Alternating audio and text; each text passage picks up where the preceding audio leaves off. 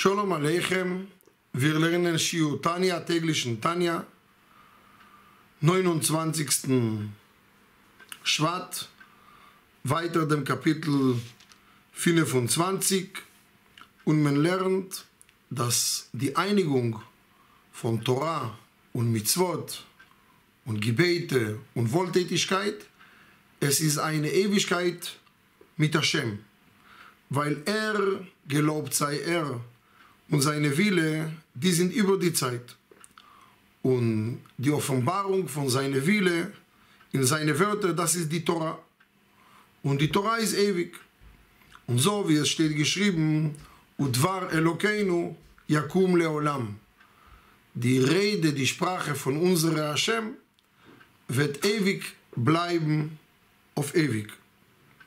Udvorov Choim Vekayomim Neemonim Venechmodim Loat. Wir sagen jeden Tag beim Gebet, dass die Wörter von Hashem sind lebendig, die existieren, die sind vertrauensvoll, sie bleiben auf ewig. So wie wir singen beim Igdal Elokim, Lo Yachalif velo Yamir Dato Leolamim. Hashem wird nicht ändern, wird nicht tauschen seine Wille und seine Torah auf ewig. Aber hier in dieser Welt, es ist unter die Zeit. Hashem Haya, er war schon da, er ist da und er wird bleiben. Aber wenn Hashem schuf die Welt, er hat gelegt die Welt unter die Zeiten, Tag, Nacht, Wochentag, Shabbos, Yontef. Hier unten, in dieser Stunde, wo ein Mensch lernt Torah oder macht Mitzvah, auch wenn gleich etwas danach tut er weltliche Sachen, waschen, bügeln, arbeiten, fahren Auto. In dieser Stunde, was hat er gelernt? Bleibt er mit Hashem trotzdem verbunden. Er ist nicht, es ist keine Trennung von Hashem.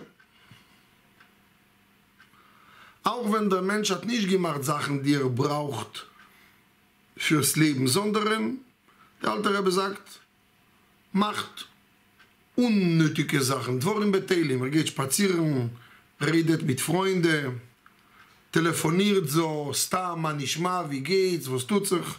Auch, da, auch, wenn man, auch wenn er das nicht braucht, unbedingt, um Hashem zu dienen. Gut, wenn er geht spazieren, weil er will gesund sein, braucht er das. Wenn er geht zu Fuß zum Synagoge, braucht er es, um Hashem zu dienen. Wenn er braucht die Sprache, um zu lernen, ist wunderbar. Aber es gibt Sachen, wo ein Mensch tut nicht unbedingt Lavodat Hashem. Trotzdem, wenn er kommt zurück zum Gottesdienen und er geht wieder zum Torah und Tfilah und er sagt Hashem Entschuldigung, Verzeihung und Vergebung, das habe ich meine Zeit gepattert und vermasselt, dass ich konnte in dieser Zeit sitzen und lernen. Hashem wird ihm verzeihen. So wie es steht geschrieben, overall mitzvahs asay shova, ein Mensch hat gesündigt und nicht gemacht ein Gebot und er macht Tshuva, man verzeiht ihm. Da kommt der alte Rebbe und erklärt etwas sehr interessant. Dreimal am Tag, beim jedem Gebet, Shachris, Mincha und sagen wir immer, Slach lo novinu ki chotonu, Mecholo no malkeinu ki foshonu. Also verzeihe uns Gott, dass wir haben gesündigt. Vergebe uns Gott, dass wir haben mit Absicht gesündigt. Ki el toy vesalochoto, weil du bist ein Gutiger und ein Verzeiher.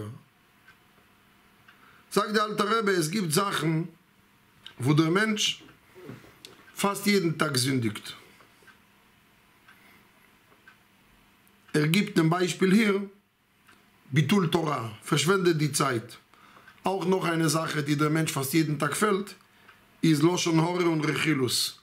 Äh, Übelrede, böse Rede, über andere Leute, Plotkas zu reden, schwätzen. Und genauso wie Korban Tamid in Bet Amikdash hat man morgen und Nachmittag gebracht, morgens um zu verzeihen auf die Sünden von der Nacht und Nachmittag um zu verzeihen auf die Sünden von dem Tag. Und das sind die, die, die Sachen, wo der Mensch jeden Tag muss sich entschuldigen, weil er konnte die Zeit besser äh, ausnutzen.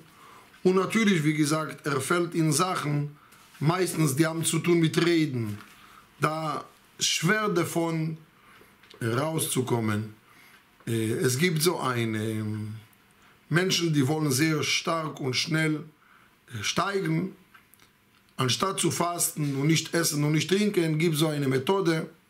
Vielleicht werden wir darüber einmal Schiu machen. Das nennt man Tanit Dibur.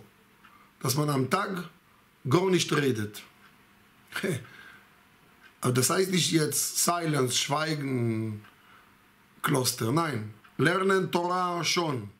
Beten schon. Aber kein einziges Wort von weltlichen Sachen. Gar nicht. Nur die Vrei Torah. Von morgen bis Abend. Schweigen und gar nichts machen, das ist nicht jüdisch. Dvarim betelim, unnötige Sachen, zu sitzen am Tag und zu schweigen, das ist eine große Sache. Genauso, das kann ein, ein Mensch muss nicht beginnen mit einem ganzen Tag. Er kann beginnen mit halbe Stunde. Das wenn er sitzt und er lernt Torah, redet nicht über andere Sachen in die Mitte. Schkoich.